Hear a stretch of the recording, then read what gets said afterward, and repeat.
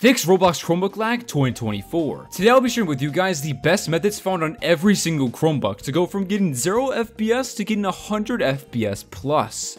So let's start. Number 1. Roblox in a web browser. Scroll down to the description of this video, open it up, and then click on the first link you see. This will redirect you guys to my website macrolorblx.com where you will then be brought to this page. Scroll down until you see this highlighted text. Click on that and this will bring you to easyfun.gg which is a website that allows you to play Roblox inside of your web browser for completely free.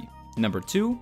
Enable hyper-threaded CPUs. Next, while we are in Google Chrome, we're going to be typing in Chrome flags into the address bar, and then press enter on our keyboard. Once you're here, look for scheduler configuration, and enable hyper-threaded CPUs. After that, you should restart your Chromebook to apply the changes, but make sure to continue watching this video first. Number 3. Enable GPU rasterization. While we are still on the screen, we're going to search for GPU rasterization and then enable it. This will help offload some tasks on your GPU, which will massively improve your performance. Number 4. Update your Chromebook. Keeping your Chrome updated is insanely crucial for your performance. Click on the clock in the lower right corner of your screen, then select the settings gear icon go to the About Chrome OS section and then check for updates. Then install any of your available updates. Number 5. Manage Chrome extensions. Extensions can seriously slow down your Chromebook, so here's how we're going to fix that. In Google Chrome, click the three dots in the upper right corner and then go to More Tools, then Extensions. Now what I would recommend doing is deleting or disabling any unneeded extensions to free up resources. Browser extensions can be huge resource hogs. Number 6. Limit open tabs. Now what we are going to do is minimize the number of tabs you keep open in Google Chrome.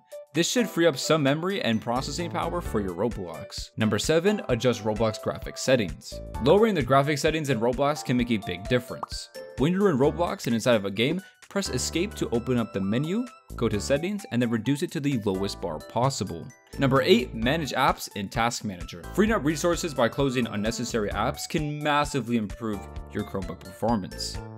Press search plus escape on your keyboard to open up the task manager. Then go through delete any of the apps you are not currently using. Number 9. Clear Chrome Cache. Clearing your cache can help speed things up. Go back to Google Chrome, then click the three dots in the upper right corner, go to more tools, clear browsing data. Set the time range to old time, then check cached images and files, and then click clear data. Alright, and now we have a few more to go, and then we'll be finished. Number 10, run only Roblox in Chrome. To prevent your Roblox from crashing, only run Roblox and Google Chrome at the same time. This ensures maximum resources are dedicated to your game. Number 11, properly shut down your Chromebook.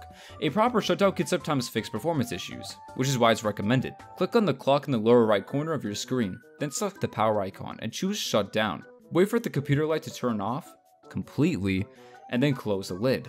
Number 12, reinstall Roblox. If all else fails, try reinstalling Roblox. Follow the instructions on this video, how to play Roblox on Chromebook in 2024. And if you guys did find this video helpful, make sure to like, comment, and subscribe. But that'll be it for me. Peace.